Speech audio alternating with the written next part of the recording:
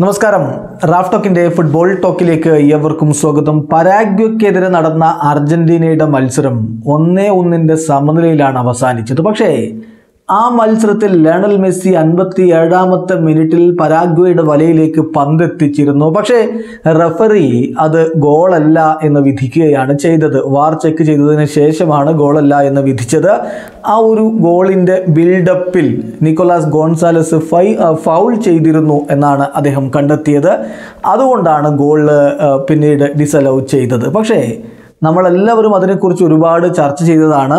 ഇരുപത്തിയേഴ് സെക്കൻഡുകൾക്ക് മുമ്പ് നടന്ന ഒരു ഫൗൾ. അത് ആ സമയത്ത് റഫറി വിളിച്ചില്ല എന്ന് മാത്രമല്ല അതിനുശേഷം ഗോളിന്റെ ബിൽഡപ്പിൽ എട്ട് പാസുകളൊക്കെ കൊടുക്കപ്പെടുകയും ചെയ്തു. അതിനുശേഷം ഗോളടിച്ചു ഗോളാഘോഷവും കഴിഞ്ഞതിന് ശേഷമാണ് അത് ഗോളല്ലെന്നും നേരത്തെ നടന്നത് ഫൗളായിരുന്നു എന്നും വിധിക്കപ്പെടുന്നത്. അതിനെക്കുറിച്ച് പലതരത്തിലുള്ള ചർച്ചകൾ നടന്നു. അന്ന് തന്നെ ലെണൽ സ്കലോനി തന്റെ അതൃപ്തി കളിക്കളത്തിൽ വെച്ചു തന്നെ പ്രകടിപ്പിച്ചിരുന്നു. റഫറിയോട് നിങ്ങൾ എന്തിനാണ് ചാർജ് ചെയ്യുന്നത്?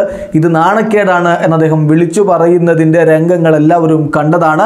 മത്സരശേഷം നടന്ന ഒരു പോസ്റ്റ് മാച്ച് പ്രസ് കോൺഫറൻസിലും വാറിനെക്കുറിച്ച് താൻ അധികമൊന്നും പറയുന്നില്ല. പക്ഷേ ഒരു കാര്യം പറയാം എല്ലാ കാര്യങ്ങളും ഒന്ന് യൂണിഫൈ ചെയ്യേണ്ടതുണ്ട് വാറിന്റെ കാര്യങ്ങൾ ഏകീകരിക്കേണ്ടതുണ്ട് എന്നാണ് അന്ന് സ്കലോനി പറഞ്ഞത്. പക്ഷെ അവിടം കൊണ്ട് അത് നിർത്താൻ അദ്ദേഹം തയ്യാറല്ല എന്ന് മാത്രമല്ല തങ്ങൾ ആ ഗോൾ അടിച്ചത് കൃത്യമായും വാലിഡായ ഗോൾ തന്നെയായിരുന്നു എന്ന് ഇപ്പോഴും അദ്ദേഹം ആവർത്തിക്കുകയാണ്.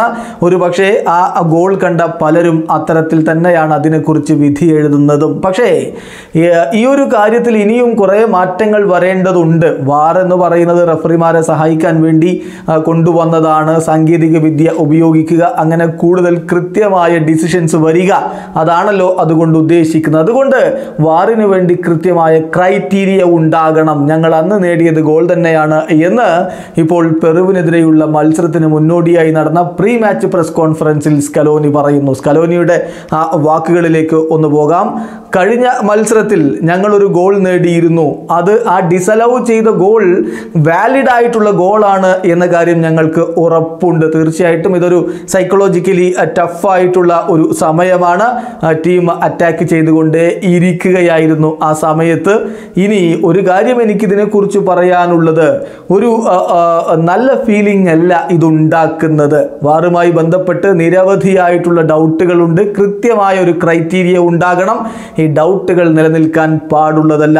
പല സന്ദർഭങ്ങളിലും പല സ്ഥലങ്ങളിലും വ്യത്യസ്തമായ ഡിസിഷൻസ് ആണ് ഇതുമായി ബന്ധപ്പെട്ട് വരുന്നു വന്നുകൊണ്ടിരിക്കുന്നത്. ഒരേ സംഭവവുമായി ബന്ധപ്പെട്ട് വ്യത്യസ്തമായ ഡിസിഷൻസ് വരുന്നു. അതുകൊണ്ട് തന്നെ വാർ പ്രോട്ടോകോൾ എല്ലായിടത്തും ഒരുപോലെയായിരിക്കണം.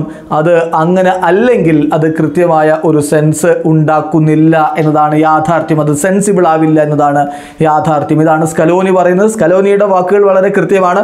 വാറിന് കൃത്യമായ ഒരു ക്രൈറ്റീരിയ ഉണ്ടാകണം. എല്ലായിടങ്ങളിലും ഒരുപോലെ വേണം കാര്യങ്ങളെ കാണാൻ. അതായത് ഒരേ ഇൻസിഡന്റിന് വ്യത്യസ്തമായ ഡിസിഷൻസ് വരുന്ന ഒരവസ്ഥയുണ്ടാകരുത് അത് വാറിന്റെ ആ ഒരു ക്രെഡിബിലിറ്റി നഷ്ടപ്പെടുത്തുകയായിരിക്കും ചെയ്യുക എന്ന് അദ്ദേഹം പറയുന്നത് ഏതായാലും ഇത്തരത്തിലുള്ള ഒരു അഭിപ്രായം പലർക്കും ഉണ്ടായിരിക്കും. നിങ്ങളുടെ അഭിപ്രായം നമ്മുടെ കമന്റ് ബോക്സിൽ രേഖപ്പെടുത്തുക. വീഡിയോസ് അവസാനിക്കുന്നു. ഫുട്ബോൾ ലോകത്തെ കൂടുതൽ വിശേഷങ്ങളുമായി റാഫ്റ്റോക്സ് വീണ്ടും എത്താം.